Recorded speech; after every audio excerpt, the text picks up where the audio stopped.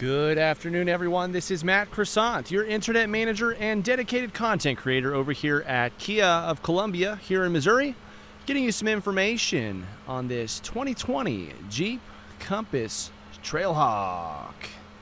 So the Trailhawk comes very well equipped here, is also trail rated. We're going to go ahead and dig in and show you what all this Compass has to offer to you. So we've got some nice large halogen headlights up front, daytime running lights here with some fog lights. Get some front red receiver hooks just in case you get stuck out there on the trails. Then moving along to the right here, we've got a 17 inch wheel set with some all season mud and snow rated tires available for you. And check out that nice ride height on this vehicle. Got the compass badging there in black with a nice red outline. Got some darkened mirrors, turn indicators on there for you. Keyless entry will be on your front two doors for locking and unlocking. We've also got a rail system up above for some extra cargo capability if you install some crossbars. We've got that same nice darkened trim going across our head, uh, not blah, blah, blah, along the window trim there. Privacy glass on all of your rear windows as well. Before we get too far ahead of ourselves, just to go over the majority of features and equipment on this Compass Trailhawk. It has about 86,048 miles, paired up to a 2.4 liter four cylinder with a nine speed automatic. And this is billet silver metallic, one of the most popular uh, paint codes for all Mopar products. And inside we've got a ruby red and black premium cloth leather combo interior. Any other information that you need, head on over to kiaofcolumbia.com or scan this QR code right now. Wrapping around to the rear here, we've got some sharp looking LED tail lights. I'm sure with some halogen turn indicators built in. You've got a heated back glass with a rear wiper and sprayer, backup camera, 4x4 badging, Trailhawk badging, and a rear receiver hook as well, depending on which direction you need to get pulled out. This is going to have a manual liftgate for this size of vehicle class. If this were like the Cherokee Trailhawk that we also have here available for you, that one does have a power liftgate, which is also a slightly larger vehicle overall. Pretty rugged, pretty tough looking. The silver really complements all of the darkened uh, contrast items on the trim here. Nice little matte insert, which you can find on your Trailhawks. Let's go ahead and hop inside and see what this vehicle has to offer. You've got heated mirrors, by the way. Inside, you've got power locks, windows, and mirrors. Front two windows are automatic. You've got a window lock here, some nice storage in the doors for a bottle holder. We can see that black and red stitching on the trim here. Nice little outline there on the speakers. And there's that cloth leather combo in action for you. Trailhawk stitching here. This is going to have a six-way manually adjustable driver seat. This larger lever you can use for pump action to lift and lower the seat as you can see. Lever to adjust the back and then a bar right here for an aft adjustment. You got nice red trim everywhere, stitching on the leather wrapped steering wheel, encompassing our dashboard. Very nice. It's little things. So we've got automatic headlights on here with your fog light adjustment right there. Dome light control, cabin control, is, or sorry, dash light control. Dome is a part of the cabin. I'm all twisted up today, huh? We've got a leather wrapped steering wheel here and just checking in our controls here. It does not have a heated steering wheel on this model, but that's okay. You've got that automatic climate control on here taking care of you. If you need to adjust the steering wheel, you can unlock it from right over here. Tilt and telescope to get this exactly where you need it to be. On the left hand side of the steering wheel, we're going to have this directional pad with the selector button for your drive display here. So we're going to go ahead and just head to the top where we've got a speedometer. Moving to our next screen, we can check out tire pressure information, coolant temp, tranny temp, oil temp, and your battery charging. You can also view your fuel economy. Right now, the average based on this trip info is 24.3 miles to the gallon there. And then you can also check out your respective trip A and trip B information.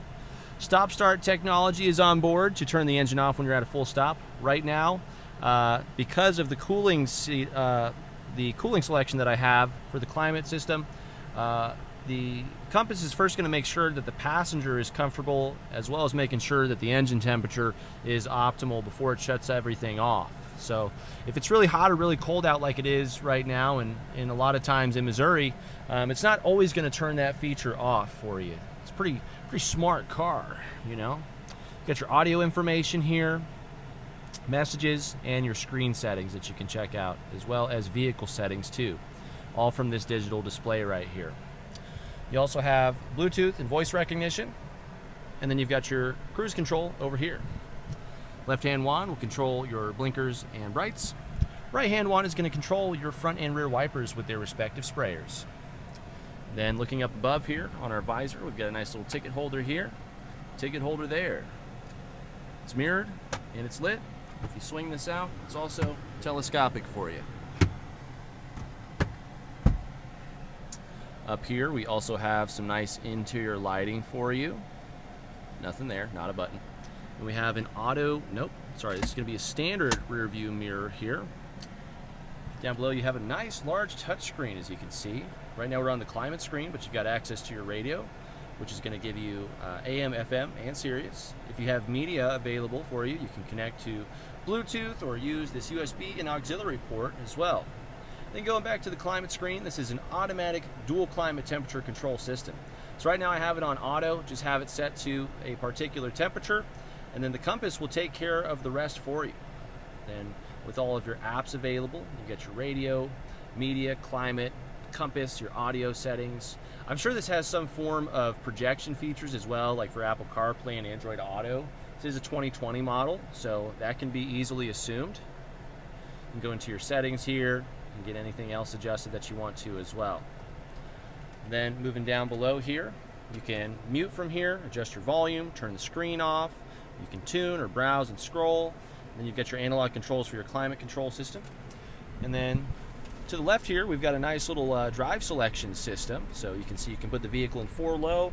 This is a downhill angle controller, which will utilize the transmission to downshift a couple gears to help you do some engine braking instead of you just having your foot on the brake the whole time, soaking heat into your pads and rotors, rendering them uh, to be less effective. You've also got a four-wheel drive lock right here. This will give you 50-50 front and rear power distribution at lower speeds. And then you can rotate this dial here to switch between snow, sand, mud, and rock. And uh, it'll give you instructions too. You have to shift to four-wheel drive low for this one here, and there's some in indicators and instructions on screen as well for whatever's going on. So depending on your terrain, you can choose that, or you can just leave it in auto and let the compass figure it out for you, which it'll be doing all the time anyways. We've also got this 12 volt outlet here. Shifter, putting it in reverse is gonna bring up your backup camera. You got a clear view of your bumper here, nice little center line, and then these left and right hand lines actually represent the sides of the compass, even though it looks quite narrow. But cutting the wheel to the left or right will show you where the vehicle is projected to path to, and as long as nothing is coming in between, the left and right hand lines, you're good to go. But once things start to get close, make sure you check on those handy dandy mirrors to make sure you're good to go. Start stop technology button is right here if you want to disengage that. You have an electric parking brake right here. Just put your foot on the brake to engage or disengage. Traction control, key fob for you, cup holders, center console, slides forward I just found out. Oh yeah. It's a nice deep well for storage right here. This looks like this may be dual level. No, just for the sliding feature there. That's nice though. You've got your glove box. Nice big box there for storage for you.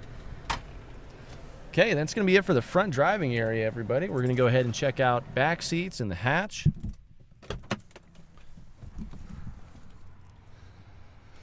It's a wonderful day at Kia. All right, we've got some extra storage in the doors here, cargo bags behind the seats, rear ventilation, rear USB port, and a power inverter. So this has a little ground on it so you can plug your laptop charger in or anything that you need to for some extra juice there. Back seats have the same cloth leather combo with seating for three. Got a nice little armrest with cup holders here, um, or a nice little phone holder spot right there too. We've got hooks, handles, and lighting up above. Pulling this lever right here, we can fold the rear seats down if need be.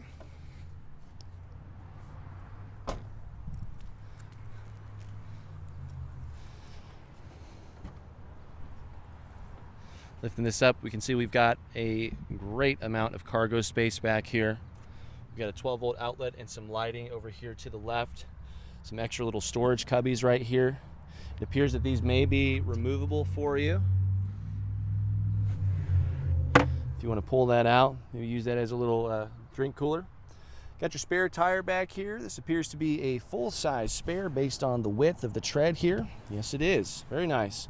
You'll have roadside tools in here as well, as all spare tires do come with that, as well as some extra little cubbies for some storage for you too.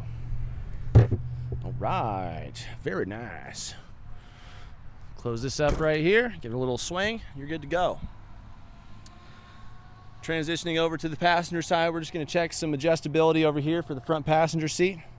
It's gonna be six-way adjustable on this side as well, just like the driver's seat. And we've got a little cargo net over here for you too, for some extra storage. All right, guys, that's gonna wrap it up for this 2020 Jeep Compass Trailhawk. Make sure you like and share this video with your friends and family. Leave a comment if you have any compliments, questions, or corrections, or maybe some helpful information that you know about the 2020 Compass Trailhawk for anybody else watching this video with you right now.